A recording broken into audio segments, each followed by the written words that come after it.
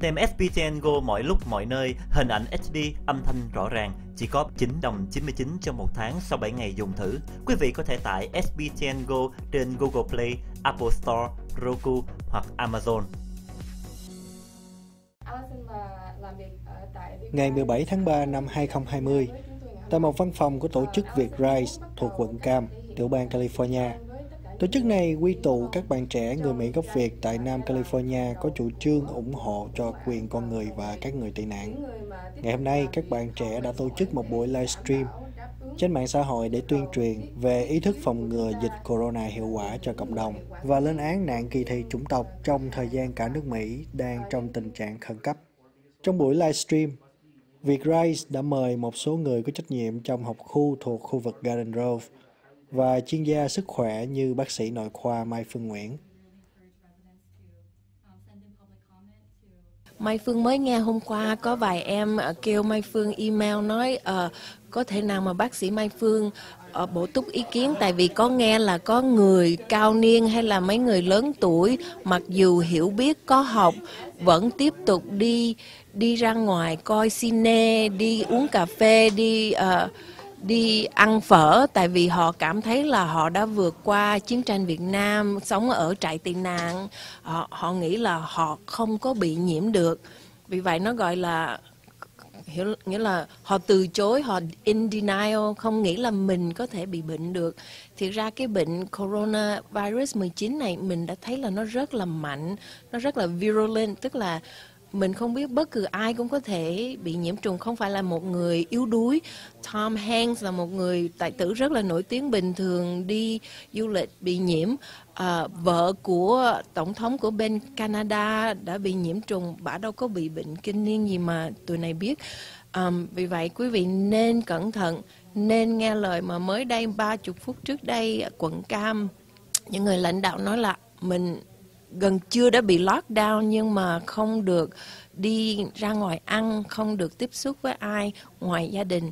Um, nó có vài cái exception tức là mấy người mà uh, họ cho phép giống như chúng ta đây bây giờ trong báo chí có thể đi phỏng vấn và làm việc để um, giúp cho cộng đồng biết về tin tức mới nhất nhưng mà thực ra bây giờ họ khuyến khích là trường uh, thành phố nào cũng đóng cửa hết cho hai ba tuần uh, những cái nhà hàng không được dine in tức là ăn tại chỗ uh, take out thì ok.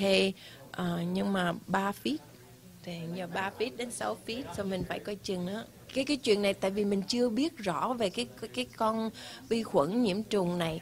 Vì vậy mình phải rất là kỹ. Mai Phương muốn chia sẻ là năm 2003 lúc mà bị SARS đó, tức là syndrome of acute respiratory uh, syndrome ở bên Hồng Kông với lại bên uh, Đông Nam Á rất là nguy hiểm. Mà lúc đó Phương ở, ở trên đảo Guam Phương đã chứng minh và thấy là khi mà cộng đồng nghe lời những người lãnh đạo về sức khỏe cộng đồng nó có hữu hiệu rất là nhiều. Mình nghe lời những người mà có biết học về cái cách nó nhiễm trùng những người epidemiologist infectious disease expert. Nghĩa là mình ráng đừng có lây, tại vì sau khi mình lây thì nó lan đi trong cộng đồng rất là nhanh. Tại vì hôm nay thì 15 người, ngày mai là 30 người, ngày mốt thì một, nó nó exponential, tự nhiên nó nó tăng rất là nhanh. Vì vậy nó nó gây ra cái sự sợ hãi so một bên mình có rất là nhiều người sợ một bên thì mình có nhiều người từ chối not me tôi là anh hùng tôi không tôi là khỏe nhưng mà người khỏe cũng đã bệnh người trẻ em cũng lây bệnh rất là dễ dàng, so mình phải cẩn thận. Cũng cho ý kiến thêm về tình trạng tranh giành mua hàng hóa tại các chợ. Hiện ra những cộng đồng Mỹ mà đi hoarding, đi mua quá nhiều đồ thì cái đó là vì người ta sợ hãi.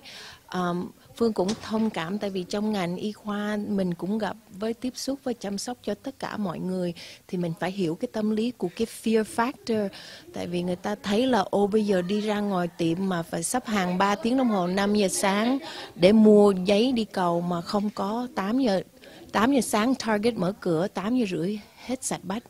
So khi mà người ta thấy thiếu thốn um, thì nó gây ra những cái khủng hoảng nó gây ra những cái fear là nếu mà không có thì có thể tuần sau sẽ không có. Nhưng mà Phương đã nói chuyện với mấy người ở Target với Trader Joe's.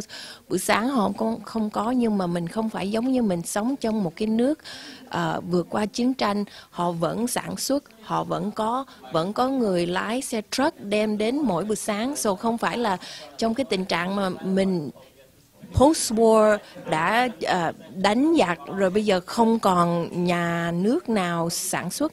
So quý vị nên bình tĩnh, biết là vẫn còn, mình chỉ mua vừa vừa thôi tại vì mình mua nhiều quá thì người khác sẽ thiếu. Mai Phương xin khuyến khích tại vì trong cái ngành mà house call mà chăm sóc cho mấy người uh, lớn tuổi cao niên đó tội nghiệp mấy bác ở một mình nhiều khi không có người lái xe.